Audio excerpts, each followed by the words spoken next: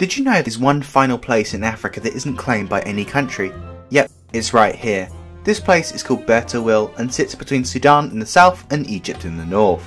So why did this happen? Well basically many years ago the British controlled the whole area, but in 1899 they drew this line before eventually drawing another line in 1902 to better reflect how the local tribes were using the land there. When these two countries gained independence, Egypt claimed the 1899 line and Sudan claimed the 1902 line. Why? Well, both Egypt and Sudan were more interested in this area of land, the Halalib Triangle, which actually has people living there, along with having a coastline, whereas all Bir Tawil is, is just a desert 120 miles away from the coast, meaning that both sides wouldn't be able to claim Bir Tawil if they wanted the Halalib Triangle. So if you wanted, you could technically claim it and build a kingdom there.